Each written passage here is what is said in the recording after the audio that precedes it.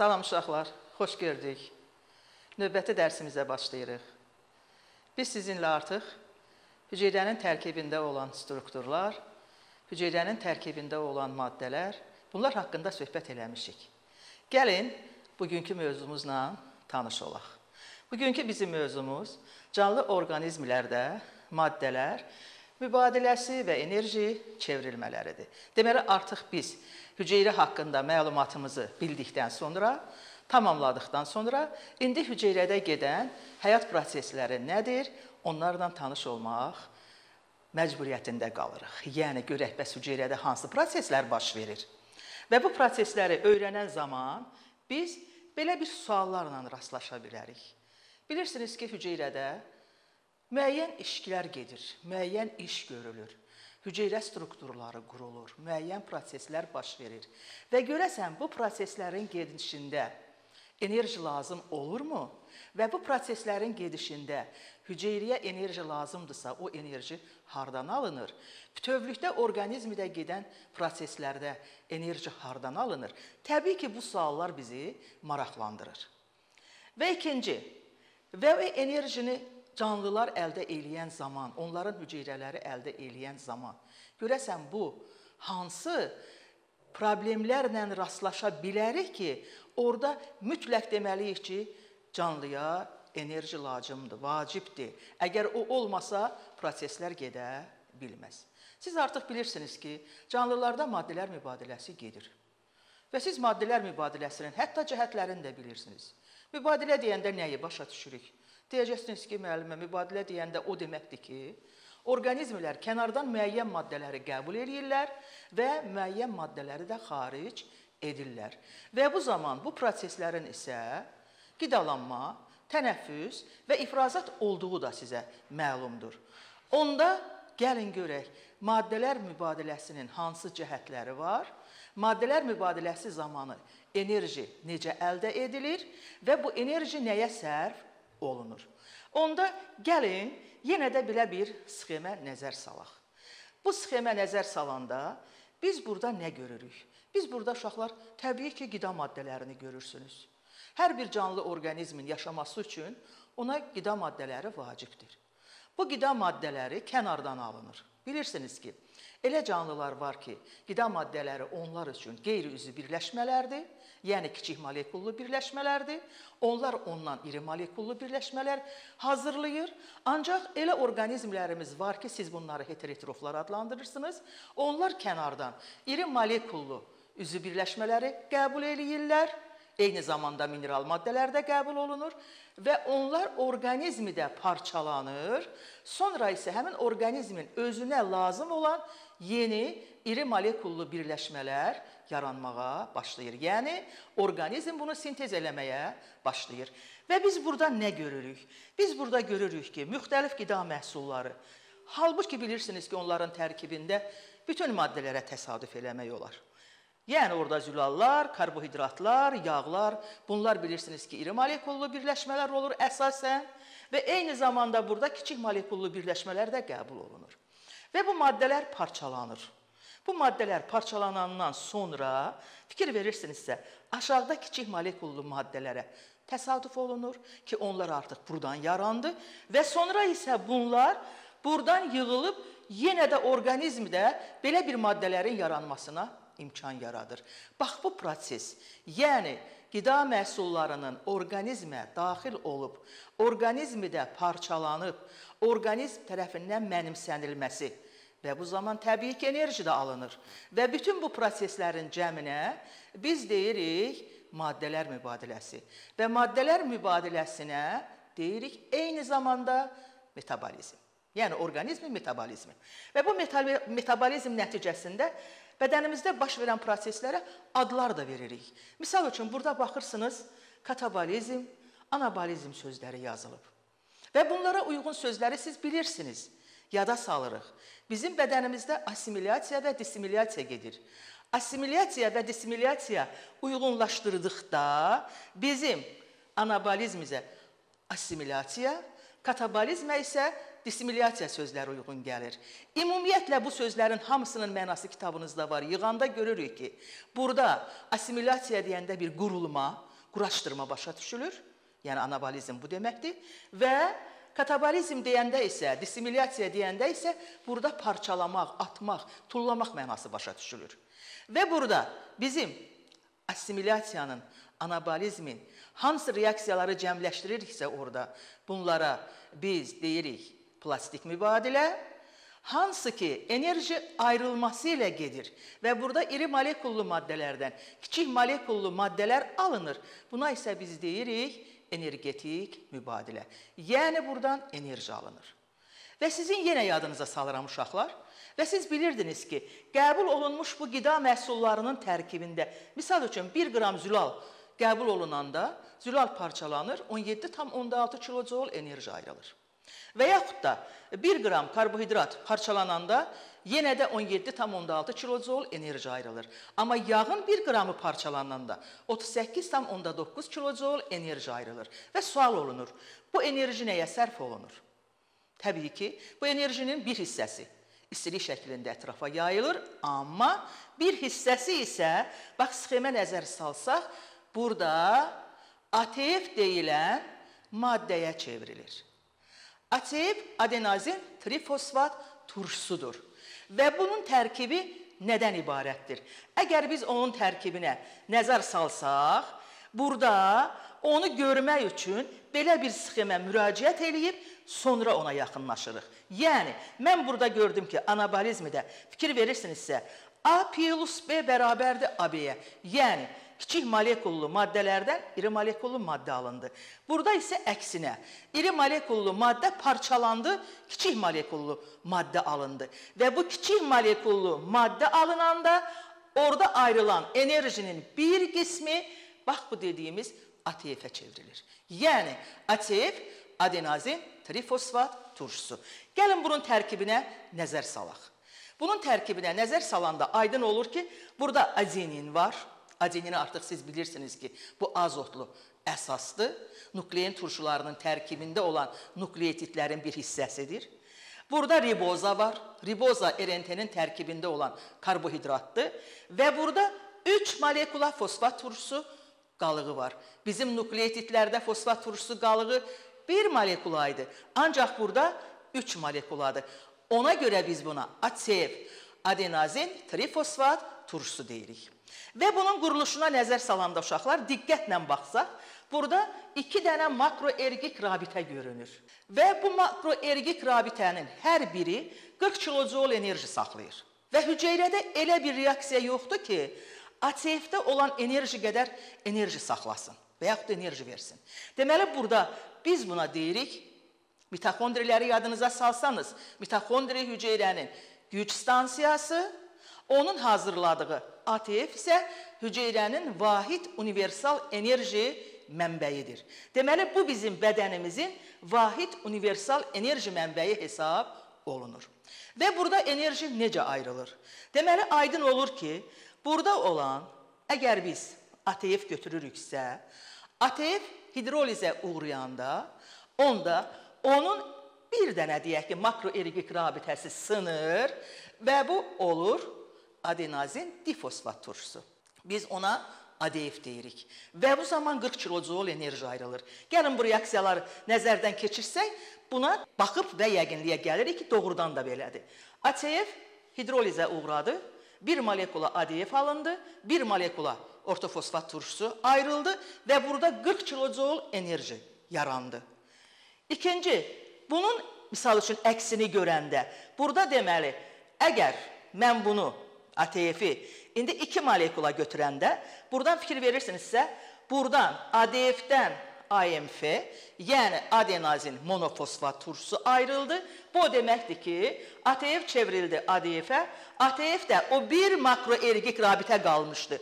O da sındı, çevrildi oldu. Adenozin monofosfat turşusu, yenə fosfat turşusu buradan ayrılıb, 40 kilojoule enerji ayrılıb. Onda deməli belə çıxır ki, bir ATF molekulası parçalananda AMF-yə qədər orada 2 molekula fosfat turşusu yaranır və 80 kilojoule enerji ayrılmış olur. Bax bu bizim bədənimizdə olan enerjiyə olan tələbatımızı ödəməyə sərf olunur. Bizim bədənimizdə müxtəlif proseslər gedir. Bu proseslər zamanı mütləq enerji tələb olunur. Həmin o enerjinin tələbatını ATF verəcək. Və bunun da siz burada görürsünüz ki, tərsini görürük. Yəni indi ADF özünə bir molekula fosfat turşusu birləşdirsə, çevrilib olacaq ATF və bu zaman 40 kilojoule enerji udulacaq. Bax bu proseslərin hamısında hüceyrədə gedən həyat prosesləri özlərinin gedişi üçün lazım olan enerjini əldə eləyirlər. Amma ATF orqanizmdə o qədər də çox deyil. Çünki o əzələlərin 20-30 dəfə yığılmasına sərf oluna bilər. Deməli burada uşaqlar bizim orqanizmimizdə daima ATF-in yaranması və parçalanması prosesi gedir. Və bu da həyatımızda deməli ontogenezimizdə, yəni fərdi inkişafı hər bir canlının bizdə daxil olmaqla ömür boyu davam edən proseslərindən biridir ki, buna bizim həmişə ehtiyacımız var. Uşaqlar, bax bu bizim bugünkü dərsimizdir. Amma yaddan çıxartmayaq. Bizim koronavirusa qarşı mübarizəmiz heç vaxt yadımızdan çıxmasın. Siz də maska taxın, sosial məsafə gözləyin, çox yığıncaqlı yerlərə getməyin, şəxsi gigiyena qaydalarına əməl edin. Növbəti dərsimizə qədər sağ olun.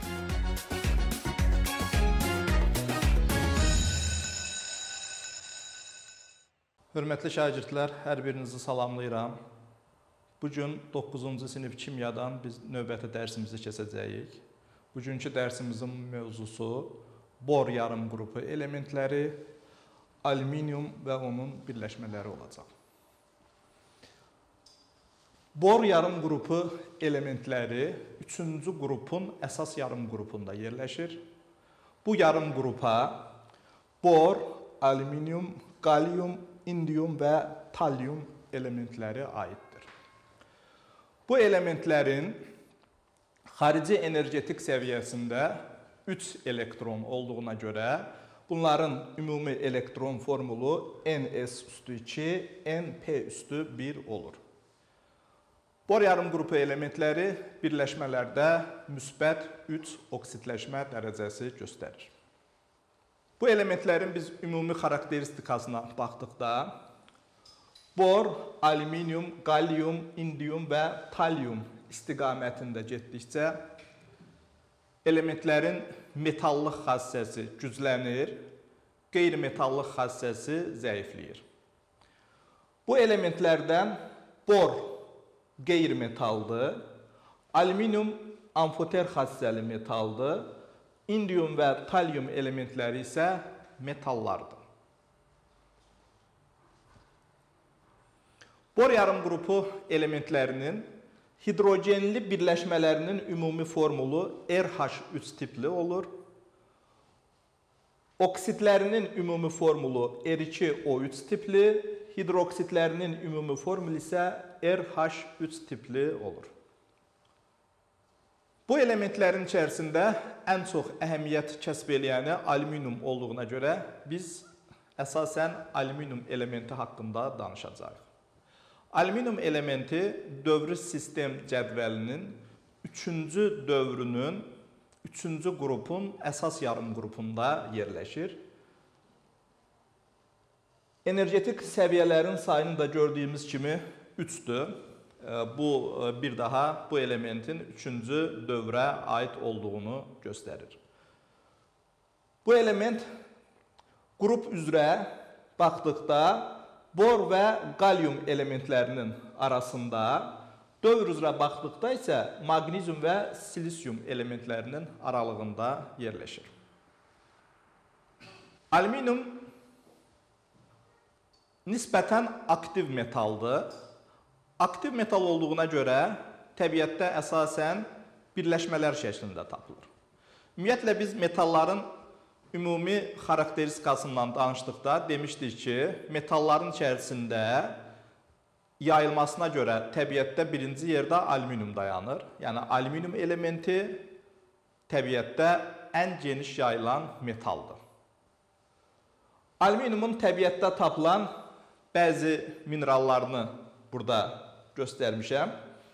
Bu minerallardan alüminium oksit vurulsun N molekulusu boksit mineralı. Boksit mineralının burada şəklini görürsünüz.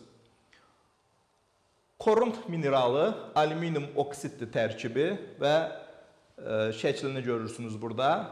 Kriolit mineralı natrium 3, alüminium flor 6 və e, kriolit mineralının şəkildə e, deməli biz nə formada, necə olduğunu görə bilirik.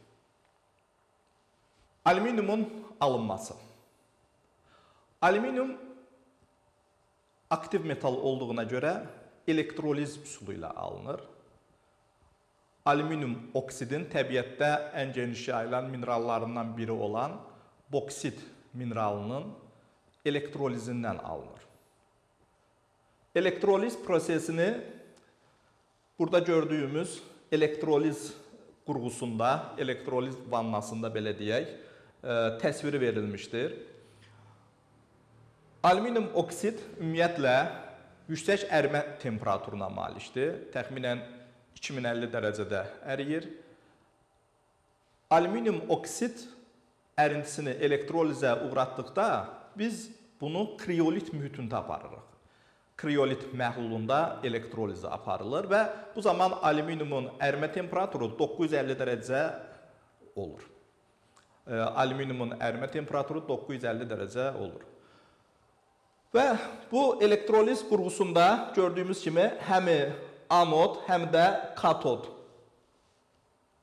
qrafitdən hazırlanıb. Alüminiumun ərintisini elektrolizə uğratdıqda burada təbii ki, bu sadə sxem verilibdir. Katodda alüminium metalı ayrılır, anodda isə oksigenin burada qabarcıqlarını e, görə bilirik. Oksigen qazı ayrılır və bu şəkildə alüminium oksidin ərintisini elektroliz etməklə alüminium metalı alınır. Alüminiumun fiziki xassələri. Alüminium gümüşü ağ rəngli, metal parıltılı, plastik, asan əriyən, istiliyi və elektriki çox yaxşı keçirən metaldır. Alüminium elektrik keçiriciliyinə görə yalnız gümüşdən, misdən, qızıldan geri qalır. Yəni elektriki çox yaxşı keçirir. Alüminiumun kimyəvi xassələri. Alüminium özü aktiv metaldır, amma alüminiumun üzərində davamlı alüminium oksid təbəqəsi olduğuna görə alüminium birləşmələrdə pasiv xassə göstərir. Alüminium qızdırdıqda oksigen, xlor, karbon, kükürt, azot kimi qeyri-metallarla qarşılıqlı təsirdə olur. Alüminium oksigenlə alüminium oksid, xlorla alüminium xlorid, karbonla alüminium karbid, kükürtlə alüminium sulfid, azotla alüminium nitrid əmələ gətirir. Hidrogenlə isə alüminium qarşılıqlı təsirdə olmur alüminiumun hidrogenli birləşməsi olan alüminium hidrid dolayısı yolla əldə edilir. Alüminiumun mürəkkəb maddələrlə reaksiyasından bir turşularla reaksiyasına, bir də metal oksidləri ilə qarşılıqlı təsirinə baxaq. Alüminium turşularla qarşılıqlı təsirdə olduqda e, xlorid turşusu ilə duru sulfat turşusu ilə qarşılıqlı təsirdə olduqda duz bir də hidrogen əmələ gətirir. Alüminium oksidləşdirici turşular olan nitrat turşusu ilə, qatı sulfat turşusu ilə qarşılıqlı təsiri e, daha fərqli olur. Biz onu e, sulfat turşusunun nitrat turşusuna keçəndə ayrıca olaraq sizə orada deyəcəyik. Alüminiumun xlorid turşusu ilə qarşılıqlı təsirindən alüminium xlorid hidrogen, duru sulfat turşusu ilə qarşılıqlı təsirindən alüminium sulfat hidrogen qazı əmələ gəlir. Alüminium metal oksidlərindən metalları reduksiya eləmə qabiliyyətinə malikdir. Biz hələ bunu pirometallurgiya üsulunu keçəndə orada keçmişdik. Metal oksidlərindən metalın alınması. Bu üsul bu üsulda reduksiya edici alüminium olduqda alüminotermiya adlanırdı. Məsələn, alüminium xrom 3 oksidlə qarşılıqlı təsirdə olduqda alüminium oksid və xrom əmələ gəlir. Alüminium dəmir yanığı ilə qarşılıqlı təsirdə olduqda alüminium oksid və dəmir əmələ gəlir. Bu reaksiya maraqlı reaksiyadır. 8 mol alüminium, 3 mol dəmir yanığı qarışığı termit adlanır və bu reaksiya nəticəsində çox yüksək temperatur əmələ gəlir ki, və bu temperaturdan da qaynaq işlərində, xüsusən də dəmir yol reysləri və s. salınmasında geniş şəkildə istifadə olunur. Alüminiumun mürəkkəb maddələrdən su ilə qarşılıqlı təsirinə baxaq. Dedim ki, alüminiumun özü aktiv metaldır, amma üzəri oksid təbəqəsi ilə örtüldüyünə görə passiv olur. Əgər biz alüminiumun bu oksid təbəqəsinə civə duzları ilə təsir etdikdə, bu civə duzlarının təsiri nəticəsində alüminiumun üzərində olan oksid təbəqəsi dağılır və alüminiumla civə bir yerdə amalqama əmələ gətirir. Həmin bu amalqama artıq aktiv metal hesab olunur. Yəni burada alüminium artıq aktiv metal hesab olunur aktiv metal kimi su ilə qarşılıqlı təsirdə olub alüminium hidroksid, bir də hidrogen qazı əmələ gətirir. Alüminiumun qələvlərlə qarşılıqlı təsiri. Alüminium dedim ki, amfoter metaldır. Amfoter xassəli metal olduğuna görə alüminium həm turşularla, həm də qələvlərlə qarşılıqlı təsirdə olur. Alüminiumun turşlarla qarşılıqlı təsirini dedim. İndi də qələvlərlə qarşılıqlı təsirinə baxaq. Qələvlərlə iki cür, bir əritdikdə, bir də məhlulda reaksiyaya daxil olur. Alüminiumu qələvi məhlulunda əritdikdə, yəni qızdırdıqda natrium alüminat, bir də hidrogen qazı əmələ gəlir. Alüminium natrium hidroksidlə məhlulda, yəni qızdırılma şəraiti olmadan qarşılıqlı təsirdə olduqda isə gördüyümüz kimi kompleks duz əmələ gəlir. Bu duzun adı natrium tetrahidroksoalüminatdır. Belə bir duz, bir də hidrogen qazı əmələ gəlir. Alüminium ionunun təyini. Alüminium qələvlərlə qarşılıqlı təsirdə olduqda ağ rəngli həlməşiyə bənzər çöküntü əmələ gəlir. Bu alüminium hidroksid ağ rəngli həlməşiyə bənzər çöküntüdür. Burada bunun qurudulmuş forması göstərilibdir. Belə bir çöküntü əmələ gəlir. Əgər biz qələvini əlavə eləməkdə davam eləsək, biz dedik ki, alüminium hidroksid amfoter xassəli olduğuna görə alüminiumun özü də, oksidi də, hidroksidi də amfoter xassəlidir. Qələvinin artıq miqdarında başlayacaq alüminium hidroksid çöküntüsü həll olmağa və natrium tetrahidroksoalüminat duzu əmələ gəlir ki, bu duz da suda həll olan maddədir. Alüminiumun birləşmələri. Alüminiumun birləşmələrindən biz alüminium oksid və alüminium hidroksidi sizinlə keçəcəyik. Hər iki birləşmə suda həll olmayan ağ rəngli amfoter xassəli maddələrdir. Alüminium oksid haqqında ayrıca bir neçə kəlmə danışacağıq. Alüminium oksid haqqında sizə məlumat verəcəm.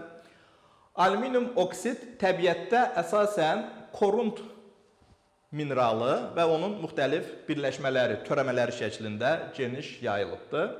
Korundun bir göy rəngli kristalları olur, bir də qırmızı rəngli kristalları olur. Korundun göy rəngli kristalları sapfir, burada da gördüyümüz kimi sapfir göstərilib. Qırmızı rəngli kristallar isə yaqut və ya rubin adlanır. Bu kristallardan bəzək əşyaları kimi geniş şəkildə istifadə olunur. Alüminium oksidin kimyəvi xassəsi. Alüminium oksid amfoter xassəli maddə olduğuna görə həm turşularla, həm də qələvlərlə qarşılıqlı təsirdə olur. Konkret olaraq alüminium oksid xlorid turşusu ilə alüminium xlorid su əmələ gətirir. Alüminium oksid qələvi ilə əritdikdə natrium alüminat su, məhlulda isə natrium tetrahidroksoalüminat kompleks duzu əmələ gətirir. Alüminium hidroksidin kimyəvi xassəsi. Alüminium hidroksid də amfoter xassəli maddədir. Eyni alüminium oksid kimi turşularla qarşılıqlı təsirdə olur. Məsələn, xlorid turşusu ilə alüminium xlorid su, qələvlərlə yenə də iki cür bir əritdikdə, bir də məhlulda. Əritdikdə natrium alüminat su, məhlul ə, qələvi məhlulunda isə ə, yenə də kompleks birləşmə əmələ gətirir ki, dedik ki, bu kompleks birləşmədə suda həll olan maddədir. Alüminiumun tətbiq sahəsi. Alüminium çox geniş tətbiq imkanlarına malik olan elementlərdəndir. Alüminiumun yüngül xassəli olmağı, plastik olmağı, elektriki və istiliyi yaxşı keçirməsi alüminiumun sənayedə geniş şəkildə tətbiqinə imkan yaradır. Alüminiumdan xüsusən də ərinti şəklində dür alüminium ə, ərintisi alınır və bu dür alüminiumdan ə, təyyarə qayırmada, maşın qayırmada ə, çox geniş şəkildə gəmiçilikdə çox geniş şəkildə yüngül olduğuna görə çox geniş şəkildə istifadə olunur. Bundan başqa alüminiumdan elektrik naqillərinin istehsalında geniş şəkildə istifadə olunur.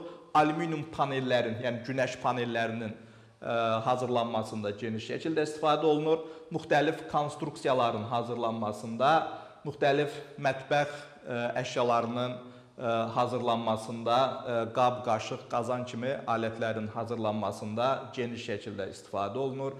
Alüminiumdan həmçinin ə, müxtəlif içkilərin hazırlanması üçün qabların hazırlanmasında, ondan sonra alüminium folqa şəklində müxtəlif yeyəcəkləri qablaşdırmaq üçün geniş şəkildə istifadə olunur. Dərsimiz bu qədər. İndi mən sizə dərsimizlə bağlı bir məsələ həllini eləyəcəm burada. Məsələmiz belədir. Alüminium oksidin kriolitlə birlikdə ərintisinin kütləsi verilib 2040 kiloqram. Ərintidə alüminium oksidin kütlə payı 20%, məhsulun praktik çıxımı isə 75%-dir. Elektroliz zamanı alınan alüminiumun kütləsini hesablayın. Biz nə edəcəyik? Əvvəlcə kriolit qarışığında, yəni alüminium oksidin kriolitlə bir yerdə qarışığında alüminiumun kütləsini hesablayacağıq. Ondan sonra alüminium oksidin elektroliz prosesini aparıb və 75% çıxımla alınan alüminiumun kütləsini hesablayacağıq. Əvvəlcə kriolit və alüminium oksid qarışığında alüminium oksidin kütlə payını hesablayaq. Qarışığın kütləsini bizə 2040 kiloqram veribdi. 2040 kiloqram qarışıq 100% olarsa, qarışıqda alüminium oksidin kütlə payı 20% verilibdi. Bəs 20% nə qədər olar? Buradan x-i hesablayırıq, eləyir 408 kiloqram. İkinci işimiz deməli elektroliz tənliyini yazmaq. Elektroliz tənliyini biz qısa şəkildə də yaza bilərik. Yəni alüminium oksidin elektrolizindən 1 mol alüminium oksiddən 2 mol alüminium metalı alınır. Alüminium oksidin 1 molunun kütləsi 102-dir. Reaksiya nəticəsində 2 mol alüminium, yəni 54 qram alüminium əmələ gəlibdir. Məsələnin şərtində isə bizə 408 kiloqram alüminium oksid verib. Buradan alınan alüminiumun kütləsini hesablayaq. Buradan hesablasaq, x-in qiyməti 216 kiloqram. Bir də bizə məsələnin şərtində verib ki, məhsulun praktik çıxımı 75%-dir. Yəni bizim tapdığımız 216 kiloqram alüminium 100%-dırsa, bəs 75% çıxımla neçə kiloqram alüminium əmələ gələcək? Buradan da x-i hesablayırıq, eləyir 100 62 2 kiloqram. Bugünkü dərsimiz bu qədər. Ümid eləyirəm ki, dərsi yaxşı-yaxşı öyrənəcəksiniz və mövzunun sonunda olan tapşırıqları həll edəcəksiniz. Sağ olun, özünüzə yaxşı baxın.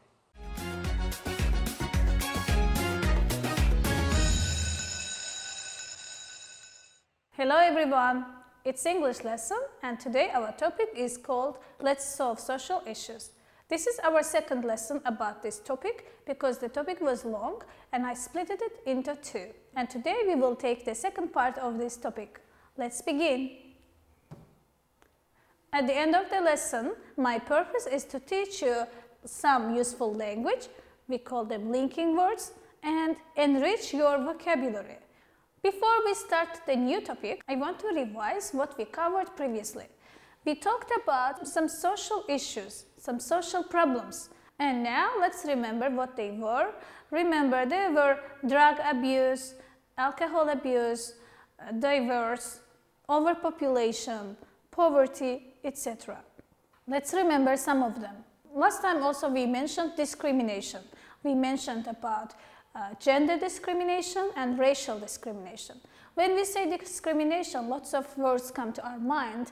It's a prejudiced treatment of different categories of people on the grounds of, so it means that uh, treating people differently according to their age, color, we, we mentioned skin color here, uh, race, caste, religion, physical characteristics, sex and gender, sexual orientation, origin and social class. For all these issues, people are discriminated, treated unfairly. This is not fair to treat people according to these things because everybody has right to live and survive peacefully on the earth. We shouldn't treat them badly. Next one is poverty. We talked about this also. Poor people who lack financial resources and essentials for a minimum standard of living. Low income, it means that they get very little money. No proper housing, no clean water, no healthy food, no proper medical services, no proper education, no electricity, no opportunities. This is called poverty. People are in a very poor condition. This is another social issue and this must be solved in order for everybody to live happily on the earth. And one more thing I want to mention, drugs. Especially young people must be very careful about these things because there are some drug dealers, people who sell drugs, uh, spoil young people's lives. Please be careful about this. So uh, people can take drugs and get addicted, drug addict, uh, get addicted to drugs. It means that you start taking it and you cannot give up, you cannot stop it. This is called addiction drug dealers, hard and soft drugs, and overdose. Overdose means uh, using uh, a lot of dose that can kill you. So this is very dangerous.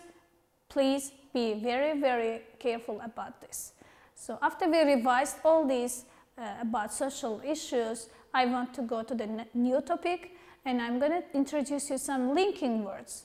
You know, in English there are some useful language that we will use in our writing and speaking. These are called linking words or transition words. These words make our writing or speaking more organized. So, for example, uh, first of all, if we want to list something, if we are talking about something, we can begin our speech or writing with first of all or firstly or talking of unfortunately I disagree, I believe, I agree, I feel that, I'm sure, in addition to, in conclusion, as for me, I think that besides, personally, I believe, these are all very useful expressions to use at the beginning of your sentences when making speech or writing. Let's look at them more closely. First of all, or firstly. We use these expressions before doing anything else. Or we also use them when we start listing something or when we start talking about something. For example, first of all, clean the surface that you are going to paint. So this is giving you how to begin the activity. It's giving you an instruction. Another transition word in conclusion, and I put some synonyms of it. Lastly, to sum up. We use these expressions to introduce the final comments at the end of a speech or a piece of writing. So when we are about to end our writing or speech, we can say, in conclusion or lastly, finally, to sum up, there is an example for us. In conclusion, I would like to thank everyone who helped to make this event possible. Or to sum up, I want to thank you for your attention, etc. So you see, it makes our speech more organized. There are some other expressions that you can say when you want to share your opinion. Instead of just direct sharing your opinion, you can start with I believe, I'm sure, I feel that, etc. Read please this and we will see some examples in the next page. Let's read some examples to see how we use these expressions in the sentences. I believe that everyone should have equal access to clean water. So you're sharing your opinion and you start with I believe that. Second one, as for me, tomatoes taste better from a garden. As for me, it's like to me, to my mind, in my opinion. Next, we can say, I'm sure that everything happens for a reason. I disagree with this statement. Yes, and now some more expressions to use to give an additional information. When you are talking about something, you can have another opinion, additional opinion, like additional means extra. Then you use these expressions. In addition to, besides, moreover, furthermore, okay, you can use them to give more information. For example, the trip is too expensive. Besides, I don't really like hot weather. In this sentence, we read about the trip being expensive and additionally, besides, also, I don't like hot weather. So the speaker gives some extra information using besides. You haven't paid the rent yet. In addition, you owe me money. So again, the speaker says something and adds another thing by saying in addition. These expressions make your language, make your speaking sound much richer. We learned some transition words and some linking words. The one place where you will need them is writing an interview. You can write an interview for a newspaper and whenever you write any articles or any interview, any essay, you, you should use transition words. So when you begin writing an interview, don't forget to begin with first of all, firstly, or to continue with in addition to, moreover. And when you finish your article or interview, you should say to sum up or in conclusion. And now there is a task in your book which wants you to write an interview. I am going to assign it as homework. But before that, I want to explain to you how to start. This is the structure, this is the plan for you. You are going to follow the steps and write an interview. The interview will be about uh, one of your parents, friends, relatives, neighbors, about their social problems and design an interview paper. Follow an interview paper writing process. So you are going to interview somebody. It can be your parent, your friend, or your relative, and you will talk with them about social problems. You will interview them. And what you should do, you should first of all define the purpose of your writing and choose a topic. For example, you choose the topic of poverty and then you start planning your interview. Make a list of questions that you are going to ask. So what can you ask to your, let's say, parents or friend about poverty? Make a list of questions. Choose the people you want to interview. Yes, you should decide whom to interview. Parent or friend, so your choice. Four, hold an interview and write down attentively all the answers. You're going to sit with that person or just stand and ask questions and write down their answers into your paper. You must record everything. Number five, work on the results you've got. Yes, you should uh, organize the answers, the questions, you should organize your paper, and finally write an interview paper. You can add some transition words, linking words that we studied together. You can correct spelling mistakes, grammar mistakes, and then finally you will present your interview paper. This is your homework. I hope everything is clear to you and I hope you learned a lot of things today. Hopefully you will write your interview paper. I wish I could see them, dear students. I'm so eager to check your tasks. That is the end of our lesson for today. I'll see you next time. Bye students.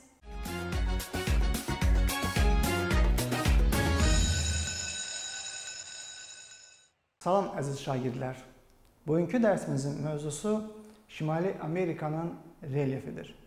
Gəlin, bu dərsdə hansı bilik və bacarıqları əldə edəcəyik, bərabər tanış olaq.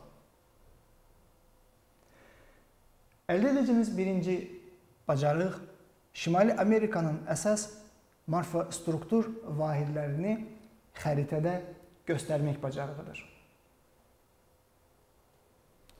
Növbəti Şimali Amerika relyefinin xüsusiyyətlərini fərqləndirmək bacarığı.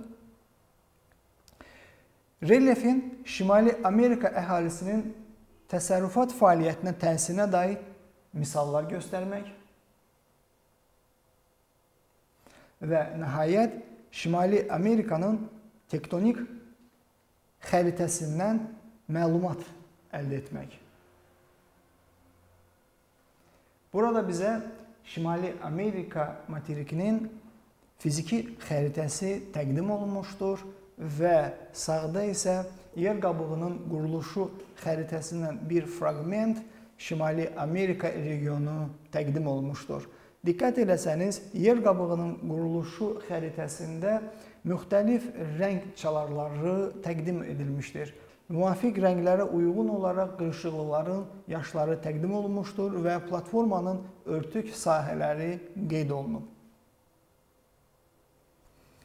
İndi isə mən sizə belə bir sual ünvanlamaq istəyirəm. Materikin hansı hissəsi ovalıqlar və yük, e, yüksəkliklərdən ibarətdir. Ovalıqlar, yüksəkliklər üstünlük təşkil edir. Xəritəyə əgər diqqətlə baxsanız, təbii ki, bu sualı rahatlıqla cavab verəcəksiniz.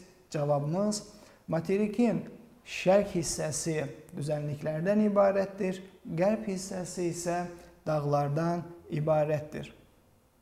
Növbəti sualımız materikin qərbində hansı dağ sistemi yerləşir və dağların hansı hissəsi daha hündürdür?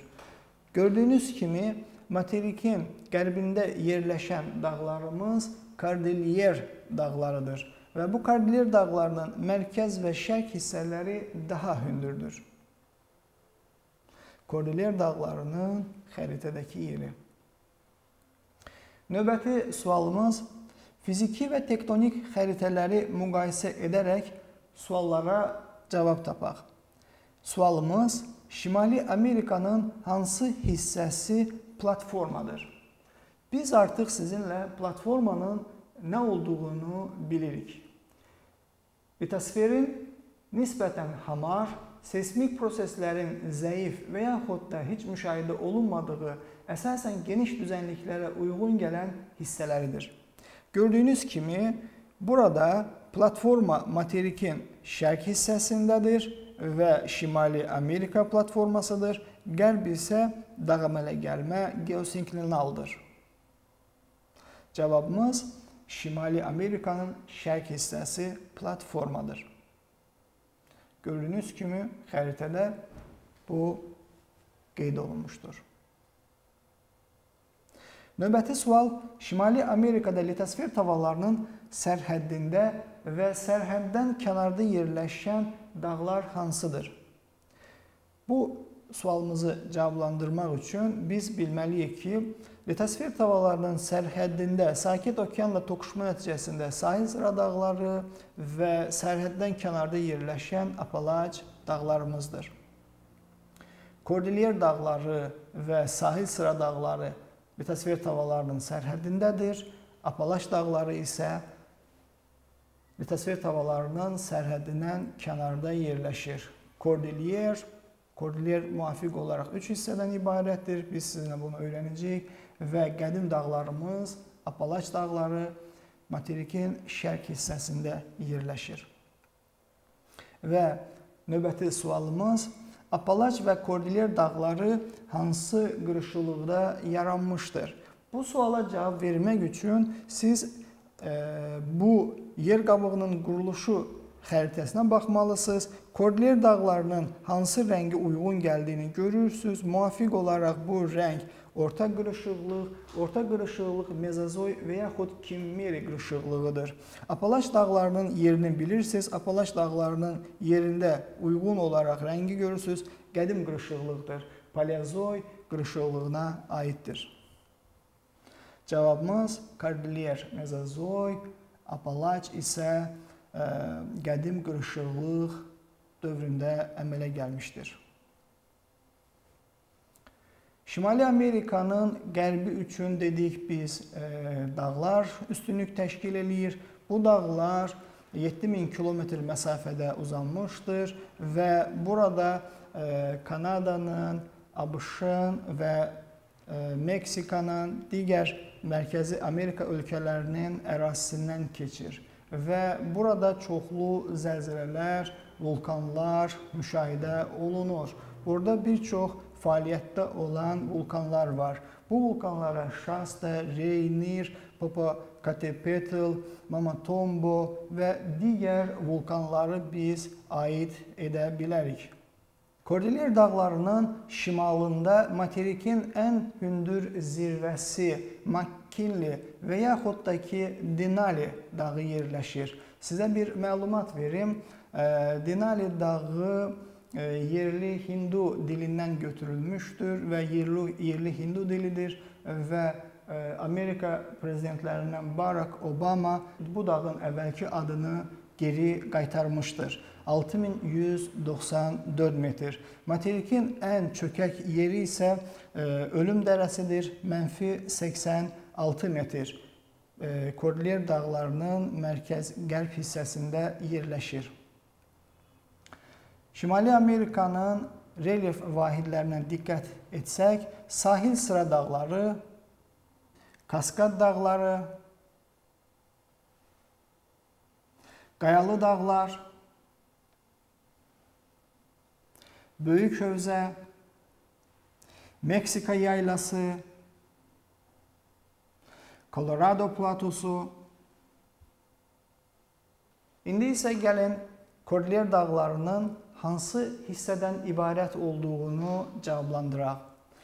Qərbi Kordilyer hansı dağlardan ibarətdir? Cavabımız Kaskad, Sierra Madre. Kaskad dağları və Kordilyer dağlarının e, cənub hissəsində, Meksika ərazisində, daralan hissəsində Sierra Madre dağları adlanır. Mərkəzi Kordilyer hissəsi isə buraya aiddir. Böyük Hövzə, Colorado və Meksika yaylası. Müvafiq olaraq Böyük Hövzə, Colorado platosu və Meksika yaylası. Qərb isə burada qayalı dağlardan ibarətdir. Bu da bizim Kordilyer dağlarımızın 3 e, hissəsi. Qərbi Kordilyer, Mərkəzi Kordilyer və Şərqi Kordilyer hissəsi. Kordilyer dağları Mezozoy qırışıqlığında, Kimmer qırışıqlığında yaranıb. Əsasən burada e, yumşaq suda həll oluna bilən suxurlar üstünlük təşkil edir və burada səth suxurları e, böyük e, aşınmaya səbəb olmuşdur. Dağların meyilliyi çox iti axın və nəticədə dərin çay dərələri yaratmışdır ki, biz bunlara kanyon deyirik. Burada ən dərin kanyon Böyük kanyon, Grand Kanyondur. Dərinliyi 2000 metrə çatır. Amerikada əsas e, turizm rekreasiya mərkəzlərindən biri sayılır. Buraya turistlər üçün həm vertolyot ilə ekskursiyalar, helikopterlə ekskursiyalar, həm maşın ilə, həm də ki, ümumiyyətlə piyada ekskursiyaları təşkil olunmuşdur. Böyük kanyon ABŞ ərazisində Colorado çayının dərəsi. İndi isə burada belə bir sual ortaya çıxır. Dağlıq ərazilərdə turizmin inkişafına hansı amillər mane ola bilər? Bu suala cavab tapmağa çalışaq. Cavabımız dağlıq ərazilərdə relyefin mürəkkəbliyindən asılı olaraq nəqliyyat vasitələri, nəqliyyat yollarının çəkintisi böyük problemlər ə, törədir. Növbəti dağlıq rayonlarda mehmanxana, ə, otellər, təsərrüfat ə, obyektlərinin tikintisi biraz çətindir və düzənlik ərazilərdə olduğu qədər yüksək səviyyədə deyil xidmətləri və yüksək dağlıq ərazilər bir növ e, kəskin iqlim, ekstremal ərazilər olduğu üçün burada temperatur şəraiti, ondan sonra e, dağlıq ərazi, e, burada baş verə bilən e, sürüşmələr, uçqunlar, dağıntılar, bunlar hamısı mənfi təsir göstərən amillərdir. Növbəti bir sual Azərbaycanda şəkildəkinə oxşar relyef forması harada rast gəlinir və turistləri bu əraziyə cəlb etmək üçün hansı tədbirlər görmək lazımdır? Bu sualımıza cavab olaraq Azərbaycanda həmin bu e, kanyona oxşayan, biz buna təngə deyirik, relyef formaları bizdə də e, Qafqaz dağları yumşaq çökmə suxurlarından ibarətdir və çaylar, e, kanyonlar əmələ gətirir. 5 barmaq, İlan dağ, Qobustan, Avey dağ, Əsrik dərəsi, Təngiyaltı dərəsi və digər yerlərdə bu e, şəkilə oxşan dağ turizminin təşkili üçün imkanlar olan ərazilərdəndir. Və sözsüz ki, bu ərazidə turistləri cəlb etmək üçün hansı tədbirlər sualına isə biz çox rahatlıqla deyə bilərik ki, son illər ölkəmizdə turizmin inkişafı üçün verilən tapşırıqlar çox uğurla həyata keçirilir və bir çox dağlıq bölgələrimizdə turistlər üçün çox yüksək infrastruktur salınmışdır, otellər tikilmişdir və bütün bu e, sadalayacağımız e, səbəblər turizmin inkişafına təsir edən amillərdəndir. Şimali Amerikanın relyef vahidlərindən biri Böyük Hövzə. Böyük Hövzə Korler dağlarında mərkəzi hissədə yerləşir. Onun qərbində və şərqində yerləşən silsilələr bir-birindən xeyli aralıda yerləşir və bu dağlar e, əraziyə rütubətin daxil olmasına imkan vermir. Nəticədə e, hövzədə dağarası e, ərazidə quru iqlim əmələ gəlmişdir və bu quru iqlim bitki örtüyünün kasıblığına gətirib çıxartmışdır.